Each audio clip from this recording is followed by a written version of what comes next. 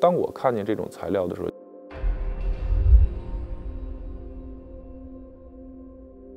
你很难去抑制的，就你会有一种冲动，就你会想用它去做什么。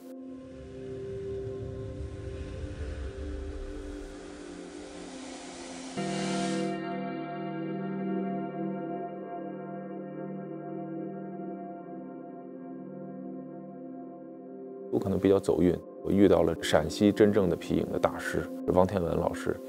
所以呢，就跟汪老师的这个接触里边，就是我了解到很多可能关于皮影的这种这种知识。他通过镂空，然后就制造出来一种很很特别的一种美感。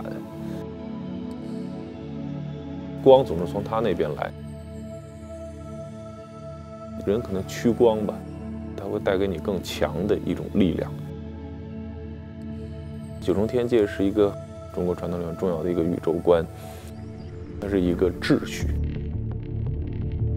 九重天里的形象其实是从天到水，从鱼到鸟，然后中间有过渡，它是一个空间的层级，所以它暗示的东西其实是所有的时空。九重天实际上讲的是一个，就是动物之间有一个关系，里边的这些动物不是构成了一个有着递进关系的食物链，因为整个宇宙的规则都在发生变化。我觉得这是一种非常特别的一种乐观情绪，而且很动静的，所以我觉得这里边藏着一种很特殊的一种哲学，看上去好像是一个食物链的一个关系，但是它里边。把这个宿命给打破了，其实不存在一个宿命的问题。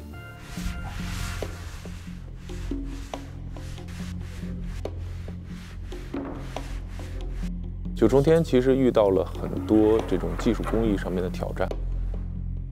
最主要的原因是它的尺寸大，尺寸大它就必须是分块做的，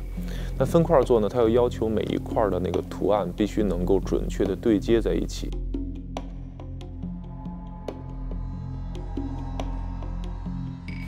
而在雕刻皮影的时候，你必须用一点点水把它捂软，然后才能雕刻。但是受潮，然后胀开，再收缩回来，它们尺寸可能就变了。这个错位如果对九重天来说，就会变成一个致命的伤害。所以在这样的一个过程里边，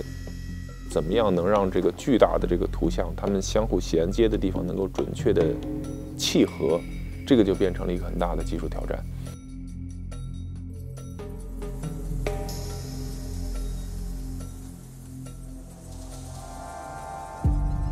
这些神话故事，我觉得可能每个民族、每个文化的人，他们都会感兴趣。我看我们那种神话故事，我会觉得它中间那些空，它留了大量大量的空，就那些空其实特别迷人，因为你可以去想象他们之间到底可能发生过什么。你说我们的神话其实给想象留下了巨大的空间，科学跟神话之间好像科学就。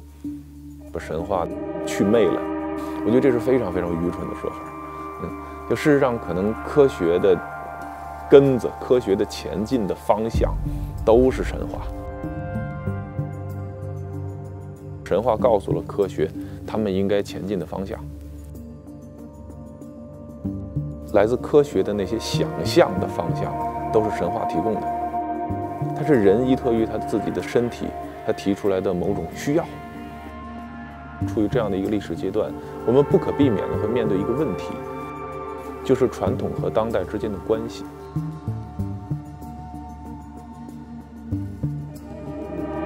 做传统跟当代之间的结合，我认为这种工作方向对今天是特别重要的一个一个时刻。